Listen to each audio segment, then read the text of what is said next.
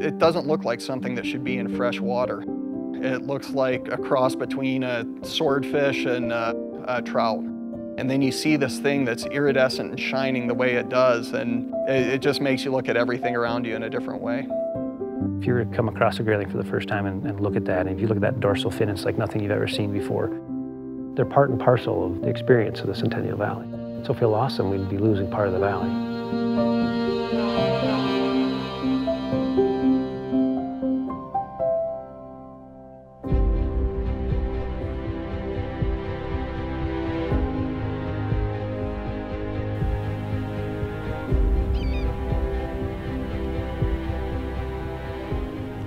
I came here in the fall of 2008 and the staff had been writing a comprehensive conservation plan.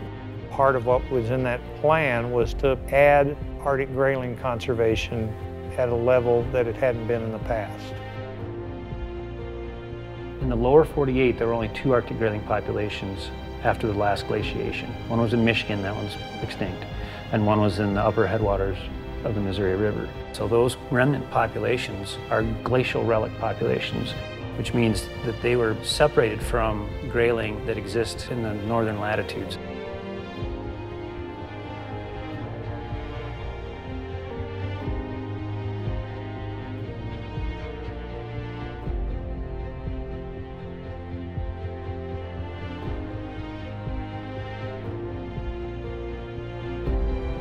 Grayling in Montana had been petitioned to be listed under the Endangered Species Act, so that sort of uncertainty loomed over everything.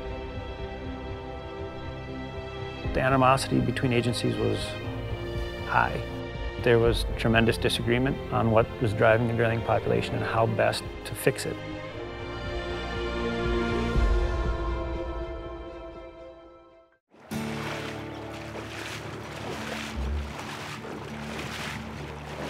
We sat down and talked about what we wanted to do as individual agencies to start to better conserve grayling.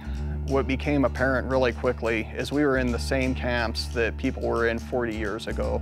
We sort of took a step back and said, rather than debating about these individual ideas, let's test them all. We'll let grayling and their population response decide which is the best management approach going forward. Over the 80 years, three hypotheses kept being put forward. We thought grayling numbers were being challenged by competition from hybrid cutthroat rainbow trout. Another limiting factor was spawning habitat in the streams, whether it was because of land use or natural factors. Grayling may not have adequate amounts or high enough quality spawning habitat. Another leading idea was winter habitat. These fish migrate upstreams to spawn, then migrate back to Upper Red Rock Lake to winter. It's a large natural lake, but it's shallow.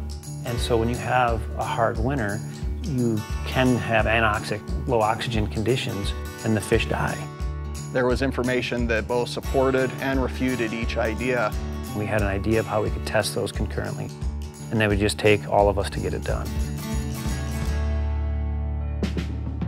The adaptive management plan is really just a way to test different management alternatives. That's it, in its, its simplest form.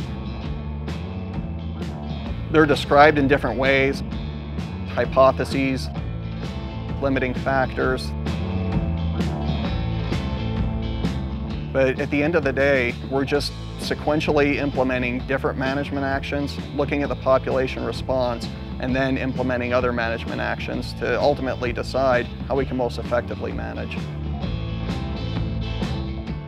Adaptive management ultimately is agreeing to disagree and being willing to test competing ideas at the same time with the same project. And the rest of us just tried to help in any way we could. But when they get into the deep mathematics, it's got to go back to Jeff and Matt. Matt and I literally spent a week for each model. We had to go through that process of thinking about the mechanisms that were behind those hypotheses, collect the data, the biological information, all the historical information, and then building a model that could take the data we collected and spit out a prediction. We then compare the number of grayling that showed up to each model's prediction to understand which one is probably most accurately influencing grayling.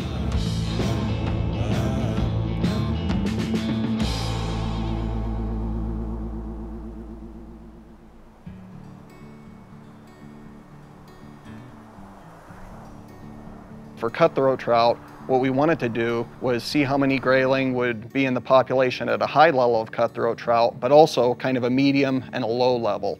And in order to do that, we needed to, to suppress a population in a short amount of time.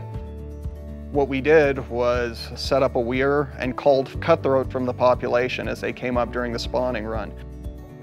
We also called on the anglers.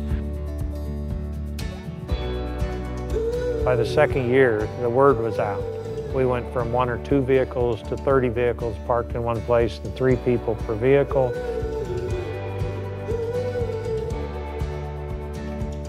And potentially everybody coming back with 10 or 20 fish, all of which are over three pounds. People had a lot of fun. Things were going along nicely. We were reducing the number of cutthroat trout. We were collecting really good data. But we weren't just collecting data for cutthroat trout.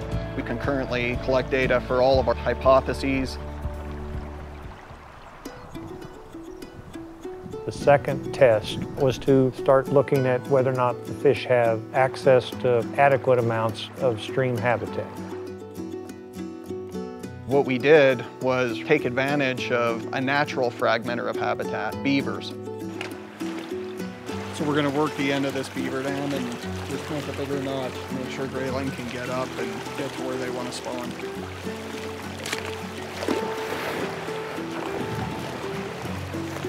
They had built over 50 dams in Red Rock Creek and essentially made habitat that was upstream of those unavailable to fish.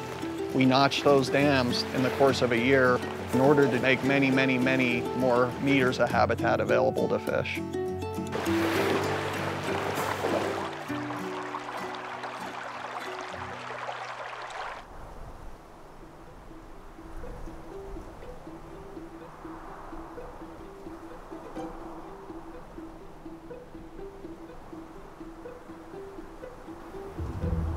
There's no way I could help those two guys with the mathematics or the models. But I have a keen interest in history. Some of the stuff in archival information really got me to thinking that the story hadn't been fully fleshed out. Six anglers caught fully 1,000 grayling in one day. We determined that the route the fish had taken to get to that springhead had been altered by duck hunters in 1908.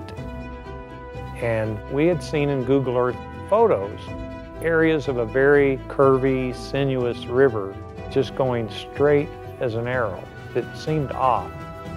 Maybe we just needed to figure out how to put the landscape back to the way it was in the late 1800s.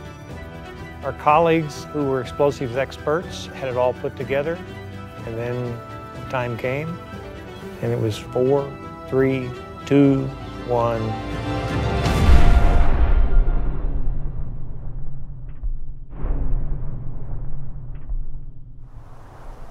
Almost immediately, the stream reconnected to the historic channel and left the channel that had been created by the duck hunters 100 years before. There was a lot of happiness that the project had gone well, but until the fish told us it was a success, it really wasn't a success. It was just a story about an explosion.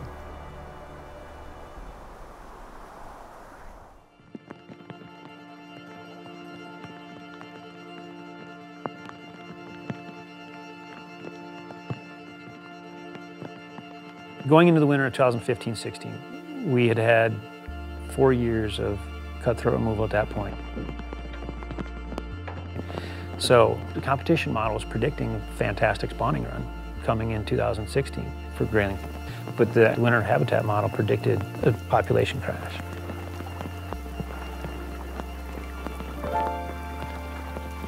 I actually remember real specifically in 2016, it was a cold, wet day. Matt Jaeger was there to do his surveys. We had expected the grayling to be there by then. We had not caught many in the trap, and his surveys didn't find many grayling fish either. It was really what the winter habitat model predicted. Our grayling population had declined fivefold. And that was hard to take. The bad winter and population decline were undeniably a bad thing for grayling, but they were a great, great thing for learning. I think that was one of the first times that Jeff and I looked at each other and said, holy smokes, this is gonna work. Learning that winter habitat, maybe the limiting factor, is in a lot of ways positive. It helps us understand what we need to do moving forward to ensure that grayling stay in this valley.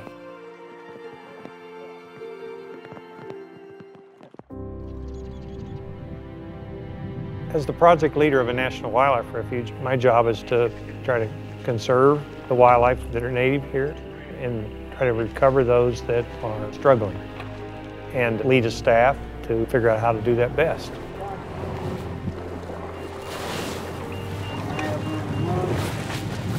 I was just in my office and I, I got a text from Jason and he had a picture connected to it. There's one. trout. Age one grayling.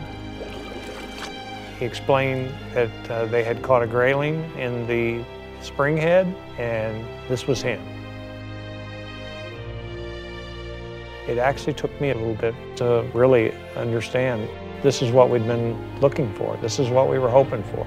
And this hadn't happened in a long time.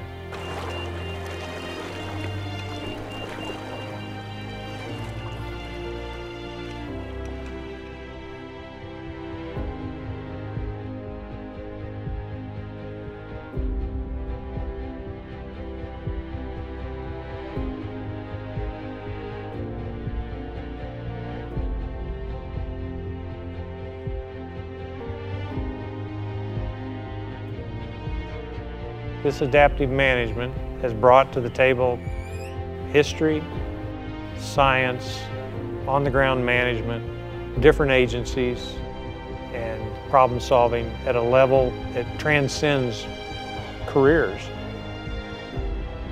I think the future for grayling here is bright because we're on the right track. We're looking at all aspects. We have all these hypotheses and these models. A thousand grayling coming up Red Rock Creek will someday not just be a goal, it'll be something we can accomplish with relative confidence each year.